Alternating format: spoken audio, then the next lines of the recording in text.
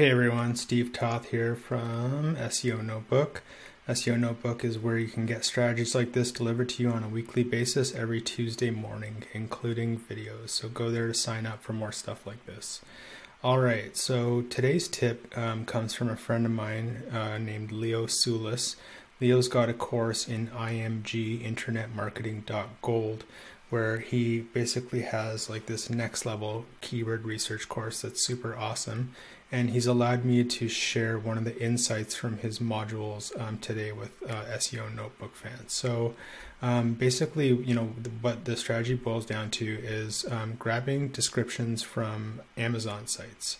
So why do we do that? Because Amazon sites, um, in this case, coffee uh, pages, have limited description windows, right? So people have to really pack a lot of information into a small amount of space and they end up talking about all the really important things with with regards to coffee makers in these tight spaces.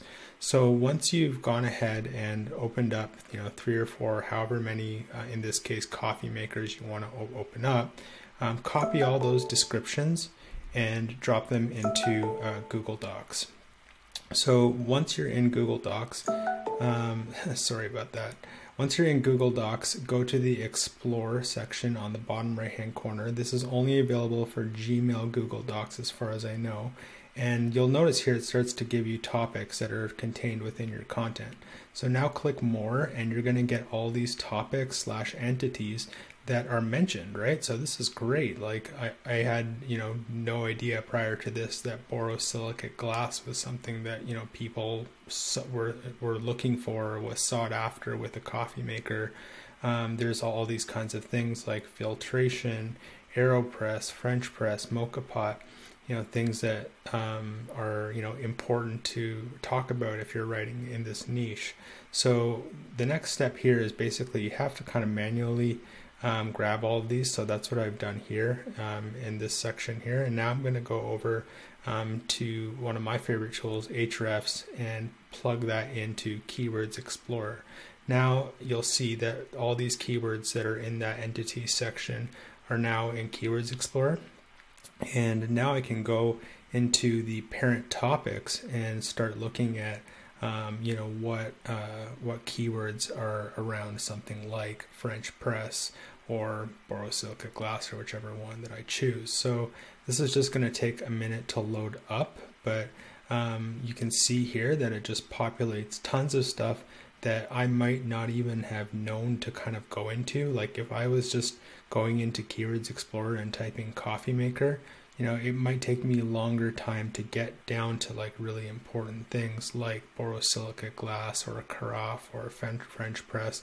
Whereas um, this method kind of like surfaces those kind of niche expert type things for you um, really quickly. So, um, you know, going from here, I would export this. I would look at, you know, medium competition um, stuff with um, still a decent CPC and decent volume. Uh, obviously, I'm looking at the SERP to see, um, you know, how uh, attainable um, some of these keywords are going to be for me, and um, selectively adding those to uh, my my keyword lists as I'm doing all this stuff.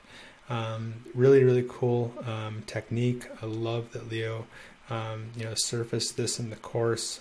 it's definitely something that um, I think is you know super cool. I mean, anything that um, you know we can where we can let Google guide us on um, you know our keyword research. I'm all for it because you know it's straight from the horse's mouth in terms of what um, it, it is looking for when it comes to topics. So some other things that you could put in here. Um, you could put in competitors um, you can put in uh, things like Wikipedia pages if you're looking to write really comprehensively.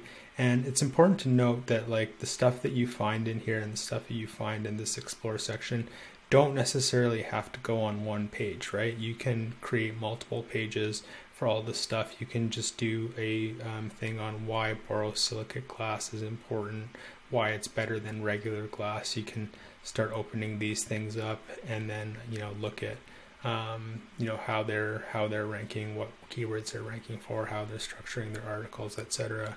Um, this is an awesome way to kind of get subject matter expertise like really fast and uh, and yeah just like take it take all the information that google google is giving you and just exploit it to the maximum degree um, so that's it um, again this is steve from seo notebook it's an email list just sign up and you'll get a new piece of strategy each week just like this one um, you know, sometimes it's featuring stuff like people from Leo. Sometimes it's stuff that I notice around the web. Uh, sometimes it's it's stuff that um, you know I'm highlighting, yeah, like other people's um, strategies and techniques with their permission, and just uh, sharing it with you so that you can rank better. Um, I've got a few more videos just starting this channel. Anyway, I'll leave it at that, and uh, hopefully see you at the next one. Bye.